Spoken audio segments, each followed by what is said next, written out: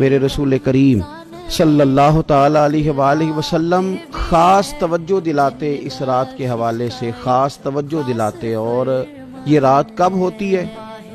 सही हदीस में मौजूद है, नबी पाक सल्लल्लाहु अलैहि वसल्लम ने फरमाया कि इसे रमज़ान के आखिरी अशरे में तलाश करो। गोया ये जो पाँच ताक रातें हैं ना, इक्कीसवीं, तेईसवीं, पच्चीसवीं, सत्ताईसवीं, उनतीसवीं, इन ताक रातों में इस रात को तलाश करो इस रात अल्लाह के फरिश्ते नाजिल होते आसमान दुनिया पर, ज़मीन पर फरिश्ते उतरते हज़रत जबरील अमीन सलाम उन्हें लेकर के आते हैं और फरिश्ते क्या करते हैं कि जो बंदा उस रात अल्लाह की याद में मौजूद हो, जो बंदा अल्लाह तबारक व के ज़िक्र में मौजूद हो, जो बंदा उस दिन अल्लाह तबारक व की बारगाह में किसी भी तौर पर हाजिर हो, फरिश्ते उसके लिए दुआए मगफिरत भी करते हैं और रब की बारगाह में इल्तजाए रहमत भी करते हैं।